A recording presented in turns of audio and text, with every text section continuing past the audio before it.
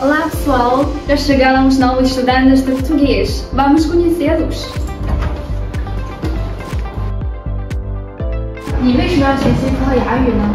因为我比较热爱足球，所以从小就经常看巴西和葡萄牙的足球比赛。我觉得葡语是一个朝阳语言，我国与葡语国家的经贸合作呀、文化交流呀都越来越密切，所以对于语言学习者来说，选择葡语其实是响应时代需要的一个选择。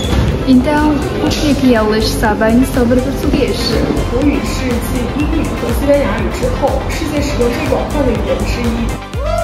嗯，其实葡语对我来说，在日常生活中还是挺常见的。嗯，初学葡语有什么感受？对我最大的感受就是真的非常费舌头，因为你多了一个单颤这个音，是我之前没有接触到过的。嗯，和我曾经接触的两门语言英语和汉语有非常大的不同。特别是在它的语音上面会有一些特殊的发音，在语法结构上面，它也显得更为的严谨和简洁。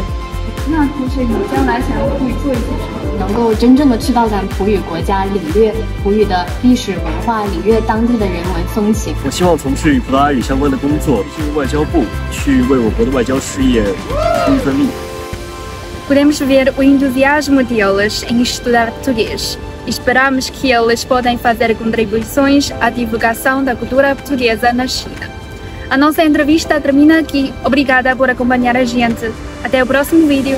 Tchau, tchau!